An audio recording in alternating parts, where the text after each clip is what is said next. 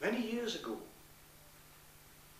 having lost my wife on our first visit to the Museum of Modern Art in New York, she goes round art galleries much more slowly than I do. I backtracked to see if I could find her and eventually saw her standing gazing at Bonnard's The Breakfast Room. And when I appeared at her shoulder, she said, I could live with that.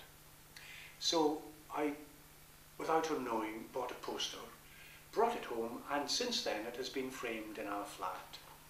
Until recently, after a considerable time lapse, recently I saw, or imagined I saw in it for the first time, a little peripheral female figure, on the left hand side of the canvas. That sparked off a realization that a poem was bubbling up. It was a short poem addressed to the painting. A few nights later, unpremeditated, a second section, her response, materialized, and after a slightly longer period, Bonnard himself put his oar in. Subsequently, I did some reading and discovered that without being fully able to understand or take on board the, the whole principle of, of long and short light waves, I got the impression that his use in many of his other paintings, particularly of oranges and yellows, meant that these colours were particularly visible during the day in bright light, and that the mauves, the violets in the periphery of this painting come into their own in the evening and twilight. And given his own statement that he tended to put important figures at the periphery of his paintings, I like to think that my belated discovery of her tallied with what his intention had been as an artist whose work I love. The paintings on the wall, the poem is in, as I say, three short sections in three voices. The Breakfast Room. That poster has been on my wall for years. The other night, a woman appeared in it, nondescript figure, more a housekeeper than the wife whom the bohemian in him painted in her bathtub over and over down the decades.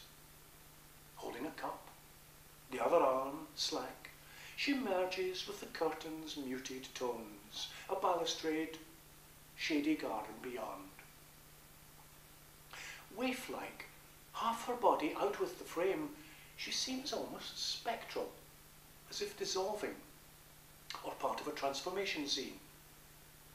I'd gladly join her. Brioche and baguettes to share, tea in the pot, a chair easily drawn up. But unlikely, given her forlorn stare. Not once has there been the prelude to an invitation, or the least indication she has noticed me.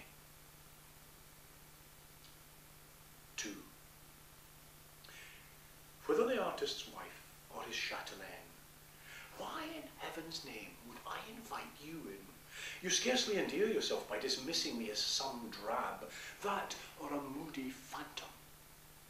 While I make no claim to beauty, a little sensitivity wouldn't come amiss. It can be hard enough dispelling the notions of those who ogle my husband's nude studies on me.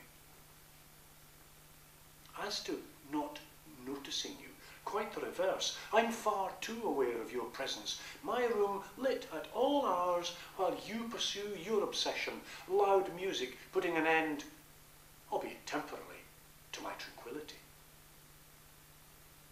But between marginality and impermanence lies a fine distinction.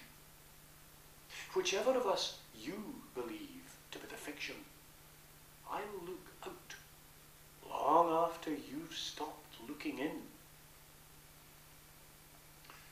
And three, you find my Marthe unobtrusive.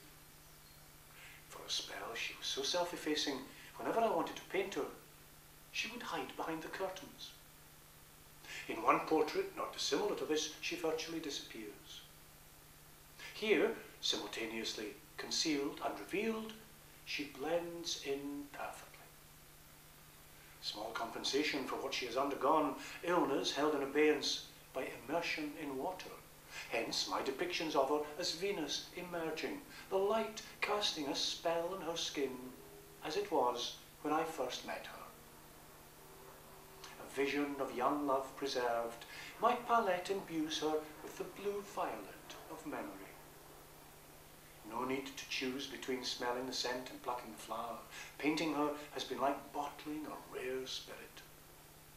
And now, if you'll excuse me, I have her bath to run.